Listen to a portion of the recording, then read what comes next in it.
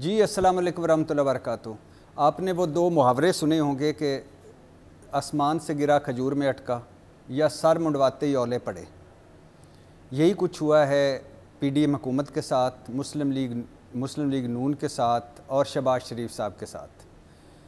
कल जब ये ख़बर आई कि डेली मेल ने, जो लंदन का एक अखबार है, उसने अपनी वेबसाइट से ख़बर हटा दी है और शबाज शरीफ साहब से माफ़ी मांग ली है माजत कर ली है और इल्ज़ाम से पीछे हट गया है। तो यहाँ मेरे ख़्याल से यूँ लग रहा था कि किसी हलवाई की दुकान पर कोई मिठाई नहीं रह जाएगी।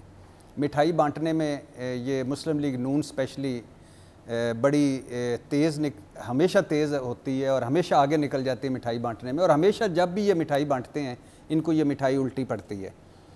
तो अब हुआ ये कि थोड़ा सा इसका मैं आपको बैकग्राउंड बता दूँ, वैसे तो आप सबको पता होगा कि डेली मेल में डेविड रोस डेली मेल जो लंदन का अखबार है, ये वही अखबार है जिसने नवाज़ शरीफ साहब को कहा था पेंट हाउस बैरी कजाक मतलब लुटेरा, ये जो बहरी जहाज़ लूटते हैं, वो लुटेरा जिसकी तेईस जदादें हैं। इस पर नवाज़ शरीफ साहब को हमने कई मरतबा कहा कि आप इस अखबार के ख़िलाफ़ जाएँ। इस पर हरजाना करें। इसने आपकी बड़ी इज़्ज़त ख़राब की है, बल्कि बेइज्जती ख़राब की है। तो नवाज़ शरीफ साहब नहीं गए। और क्योंकि क्यों नहीं गए? इसके पीछे यही हो सकता है कि क्या पता ये इल्ज़ाम ठीक हो। खैर, इस अखबार ने एक इल्ज़ाम लगाया कि जब शबाज शरीफ साहब पंजाब के हुक्मरान थे तो इन्होंने जलजिला जदगान के जो 2005 में जलजिला आया था, उसके जो बरतानवी शहरीों के जो उन्होंने फ़ंड्स भेजे थे या दूसरे फ़ंड्स थे, वो खुर्द बुर्द किए और और मनी लॉन्ड्रिंग करके ये, वो पैसा लंदन लेके गए, बरतानिया लेके गए। इस, ये मुकदमा चलता रहा, फिर जब शहजाद अकबर एहतसाब रिकवरी जो यूनिट के सरबराह बने तो उन्होंने इस पर बड़ी बड़ी प्रेस कॉन्फ्रेंस हुई दोनों तरफ़ से कि शबाश डेविड रोज़ जो है उसके पास बहुत सबूत हैं एक एक ट्विस्ट आया कि डेविड रोज़ के पास बहुत सारे सबूत आ गए हैं। नैब जो, उस वक़्त का नैब था इमरान खान साहब के दौर में, उसने भी बड़े सबूत भिजवाए हैं। शहजाद अकबर साहब ने भी बड़े सबूत सबूत भिजवाए हैं। फिर एक दूसरा ट्विस्ट आया। उसमें आया कि उन्होंने शबाज शरीफ साहब को नेशनल क्राइम एजेंसी ने बरी कर दिया। ये ख़बर आई सामने। और ये जब ख़बर सामने आई तो शहजाद अकबर साहब ने कहा कि ये इब्तदाई मामला, अभी इब्तदाई तौर पे ये एक डिसीज़न आया है और इस, इसमें मुकम्मल क्लियरेंस नहीं हुई। और उन्होंने कहा कि हमने कोई सबूत दिए नहीं थे। ये भी एक ट्विस्ट आया ट्विस्ट आया। फिर एक दोबारा ट्विस्ट आया कि नहीं, उनके पास बहुत सारे सबूत हैं और अब शबाज शरीफ फंस जाएँगे। और इस इस दौरान इमरान खान की हुकूमत चली गई। शहजाद अकबर पतली गली से निकल के मुल्क से बाहर चले गए। और फिर शबाज शरीफ साहब जिन पर फ़र्द जुर्म जिस दिन आयद होनी थी वो उस दिन वज़ी अजम बन गए। तो और उनके दामाद जो अली इमरान हैं जो इस केस में भी हैं और उनके मेरे ख्याल से सलमान शहबाज पे भी ये गालबन ये है कि नहीं है। बहरहाल अली इमरान लंदन में ही है अभी मफरूर हैं। तो वो खैर फिर एक ट्विस्ट ये आया एक दो, दो तीन दिन पहले दो तीन साल केस चलने के बाद कि डेली मेल को ने अपनी वेबसाइट से ख़बर हटा दी है और शबाज शरीफ साहब से माफ़ी मांग ली है। अब इस पर कल वो जैसे मैंने कहा ना कि मिठाइयों के ढेर लग गए और शबाज शरीफ साहब का एक जज्बाती, इमोशनल, वो पता है माइक तोड़ो परफॉर्मेंस देते हैं कि तुझे लड़काना और कराची की सड़कों पे जरदारी और लाहौर की सड़कों पे ना घसीटा तो मेरा नाम शबाज शरीफ नहीं है। छः महीने में लोड शेडिंग ख़त्म ना कर दी तो मेरा नाम शबाज शरीफ नहीं है। और पता नहीं स्विस बैंकों से पैसा ले ना, ना ले आए तो मेरा नाम शबाज शरीफ नहीं है। तो उन्होंने एक बड़ा एक जज्बाती ट्वीट मारा और उन्होंने कहा कि मैं वहीं सरबे सजूद हो गया हूँ गालबन जहीं बै, जहाँ बैठे थे वहीं सजदे में गिर गया हूँ और मैं तीन साल की वो जो है किरदार कुशी के बाद अल्लाह ने मुझे इंसाफ दिया। मरियम औरंगज़ेब थोड़ी सी और आगे चली गई। वही मरियम औरंगज़ेब जो जिस जिन्होंने कभी कहा था कि नवाज़ शरीफ एक नशा है। खैर वो आगे चली गई। उन्होंने कहा इमरान खान को और शहजाद अकबर को इस पर माफ़ी मांगनी चाहिए। एक दिन बाद डेविड रोज साहब का ट्वीट आ जाता है। अभी मिठाइयाँ चल रही होती हैं, डब्बों में मिठाइयाँ इनके घरों में पड़ी होती हैं तो डेविड रोज साहब अल हज़रत डेविड रोज़ जो साफ़ी हैं, जो बहुत जुगते मारते रहते थे हमेशा शहबाज शरीफ साहब को कि आए ना हमारे खिलाफ मुकदमा करें ना, आए ना ये करें ना, आए ना वो करें ना। अच्छा ये भी बताता चलूँ कि पिछली मरतबा शहबाज शरीफ साहब जब जुर्माना कर, हरजाना करने गए तो जुर्माना भरा उन्होंने, क्या वो अल्तवा लेने का? मुबैना तौर पर यह जुर्माना एक उन्होंने भरा अल्तवा लेने का, यानी अदालत से अगली तारीख लेने का। नौ मरतबा वैसे डेली मेल ने भी इसमें अगले वो लिया क्या उसको कहते हैं अल्तवा लिया, अगली तारीख ली। तो ये यहाँ हमारे जैसा निज़ाम इंसाफ तो नहीं कि दादे ने मुकदमा किया, पोता भी भुगत रहा है, वहाँ तो वो अल्तवा लेने के पैसे लगते हैं वकीलों के और वगैरह। तो अब इस मरतब शबाज शरीफ ने अल्तवा लेने की कोशिश की तो उन्होंने नहीं दिया कहा कि नहीं, बिल्कुल भी नहीं। और जज मैथ्यू का ये भी एक रिमार्क सामने आए थे उस समात में कि जब उनको बताया गया कि हम, हमारा क्लाइंट पाकिस्तान का वज़ी अजम है तो उसने कहा, फिर क्या हुआ? मेरे लिए वो एक क्लाइंट है, यानी इधर एक एक साइल है, एक, वो भी एक अदालत में वैसे ही है जो दूसरा है। ये हमारे यहाँ होता है कि हटो बचो वज़ी अजम साहब तशीफ ला रहे हैं। कई मरतबा तो ऐसी भी पेशियाँ आई कि जिस पर इतना प्रोटोकॉल हुआ कि जिस जज ने हेयरिंग सुननी थी, वो बाहर रह गया, शबाज साहब अंदर आ गए। ये पाकिस्तान में। खैर, हमारा इसलिए तो एक सौ बीसवें नंबर पर हमारे अदलिया है और निज़ाम इंसाफ का जनाजा पढ़, जनाजे के बगैर ही दफन हो गया है। खैर उसके, अब डेविड रोज़ साहब ने वो जो इस, अभी मिठाइयाँ चल रही थी, चाय में से धुआँ उठ रहा था, जो मिठाई के साथ खाया जा रहा था, उनका ट्वीट आ गया कि हमने एक इल्ज़ाम से माफ़ी मांगी है। वो इल्ज़ाम क्या है कि हमने कहा था कि जो ये, जो फ़ंड्स जल्जा जदगान के फ़ंड्स खुर्द बुर्द हैं ये या मनी लॉन्ड्रिंग वाला जो पैसे वहाँ से ले जाए गए मुबैना तौर पर, इसका नैब ने रेफरेंस भेजा था। नैब में रेफरेंस है। हालाँकि इसका नैब में रेफरेंस नहीं है। इस पे हमने माफ़ी मांगी। है बाकी दो इल्ज़ाम पे हम कायम हैं मुबैना तौर। एक, कि मुबैना तौर पर मनी लॉन्ड्रिंग हुई है, यानी पैसा पाकिस्तान से बरतानिया ले जाया गया है। दूसरा, मुबैना तौर पर ये फ़ंड्स खुर्द बुर्द किए गए हैं। अब ये ट्वीट आया और आते ही खैर से वो बाकी मिठाइयों पे तो मक्खियाँ बैठ गई। अब सूरत ये है, जो इस इस केस के बारे में आप सूरत ये है कि माँ मैं मेरा तो दिल अभी तक नहीं मान रहा कि शहबाज शरीफ साहब ने गरीब जलजला जदगान के पैसे खाए होंगे और बाहर ले जाए होंगे, या उनके दामाद ने, या उनके ख़ानदान ने।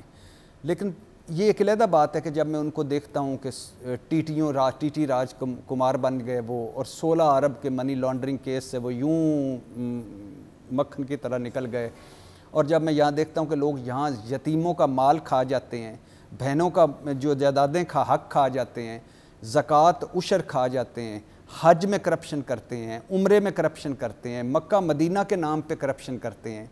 और जब मैं यहाँ देखता हूँ कि लोग चार मरले ज़मीन के लिए बाप और माँ को घर से निकाल देते हैं और मार देते हैं। जब ये अपना इखलाकी जनाजा देखता हूँ तो फिर लगता है कि शायद ये भी हो हो सकता है।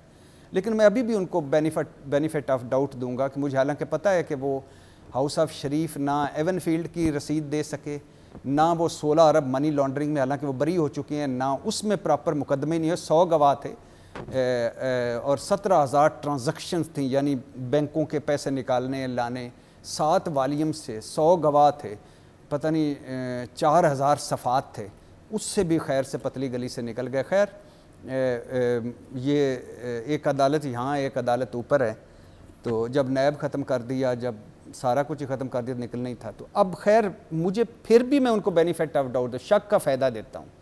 शक का फ़ायदा ये देता हूँ कि आपने, हो सकता है, पैसे ना खाए हों। आपने जैसे आप कहते हैं धेले की करप्शन नहीं की, अगर करप्शन साबित हो जाए तो मुझे वो क्रामवेल जो एक इंग्लैंड वाला था, उसकी तरह कब्र से निकाल के खंबे से लटका दे। खैर, जज्बाती आपका है फिर, लेकिन अब सूरत ये है कि डेली मेल ने खबर हटा दी। डेली मेल ने एक इल्ज़ाम से माफ़ी मांग ली। डेविड रोज़ जो इस खबर का पीछे था, उसने कहा है कि हम एक इल्ज़ाम से दस्तबरदार हुए दो से नहीं हुए। दो क्या, मुबैना तौर पर मनी लॉन्ड्रिंग और मुबैना तौर पर जल्जा जदगान के फ़ंड्स में खुर्द बुर्द। तो अब अगर इन दो इल्ज़ाम से वो अभी तक पीछे नहीं हटे जैसे डेविड रोज़ ने ट्वीट किया है, और आप कह रहे हैं हम बरी हो गए हैं तो अब सूरत हाल क्या है? ये लंदन है, बरतानिया है, मैंने कहा पाकिस्तान तो है नहीं कि जहाँ मैं किस, किसी पे भी इल्ज़ाम लगा दूँ मैं अगर शबाज शरीफ साहब पे या इमरान खान साहब पे या किसी पे इल्ज़ाम लगा लूँ कि वो, उन्होंने मेरे घर में चोरी की है, वो मेरे ख्याल मुकदमे में अदालत चले जाएँ तो पचास साल लग जाएँगे, चालीस साल लग जाएँगे, तीस साल लग जाएँगे, बीस साल लग जाएँगे, दस साल लग जाएँगे।